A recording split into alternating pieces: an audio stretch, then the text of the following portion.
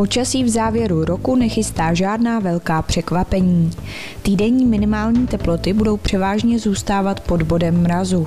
Maximální teploty se do konce prosince většinou udrží nad nulou. V prvním týdnu roku 2018 lze očekávat i celodenní mrazy.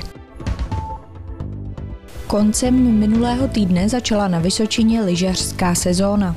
Příznivci sněžného sportu již mohli vyrazit třeba na Schatzberg nebo Fajtův kopec. Lepší sněhové podmínky má aktuálně Schatzberg, odkud hlásí kolem 40 cm bílé pokrývky. Vzhledem k mrazivému počasí na sjezdovkách nadále zasněžují. Kritizovaná pouťová atrakce z Jihlavského náměstí zmizela. Vyhnala ji odtud tradiční adventní akce Svařák, pořádaná společností Bosch. Konec autodromu na Jihlavském náměstí je výsledkem dohody mezi městem a provozovatelkou na základě důrazného požadavku firmy Bosch. Podle jejich čelních představitelů by přítomnost eh, té atrakce narušila atmosféru jejich eh, akce. Eh, takže jednoduchou dohodou mezi městem a provozovatelkou je to, že autodrom je odstraněný. Dalším důvodem je to, že údajně eh, jistá část veřejnosti eh, samotnou provozovatelku, řekněme, eh, nějak slovně napadala a paní provozovatelka naznala, že v takové atmosféře pro ní není zajímavé atrakci na náměstí provozovat.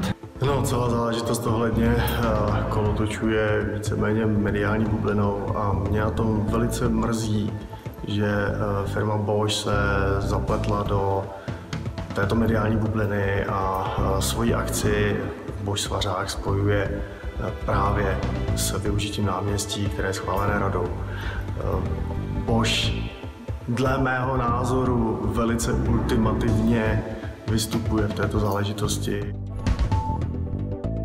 Úpravy náměstí ve Velkém Meziříčí se budou řídit návrhem architekta Miroslava Cikána. Rozhodli o tom 14 hlasy zastupitelé a současně uložili starostovi města Josefu Komínkovi podepsat smlouvu s architektem do konce roku. Zamítnut byl protinávrh Radovana Necida a klubu Topravé Meziříčí. Ten doporučoval jednání s architektem Cikánem z důvodu vážných pochybností týkajících se průběhu jednacího řízení ukončit a odložit rozhodnutí o dalším postupu při rekonstrukci centra na dobu po komunálních volbách 2018. Ve druhém díle pořadu Otazníky si s moderátorem Pavlem Hájkem bude povídat galerista Filip Dub. Svěří se mimo jiné s tím, co jej vedlo k otevření galerie současného umění v Pelhřimově.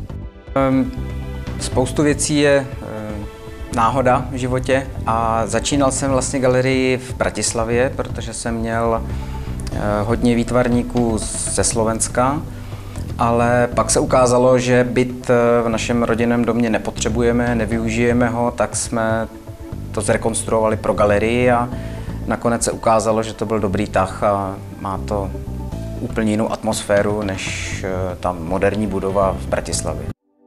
Další zprávy a zajímavé informace najdete na spravodajském portálu www.ipomlčkavysočina.cz.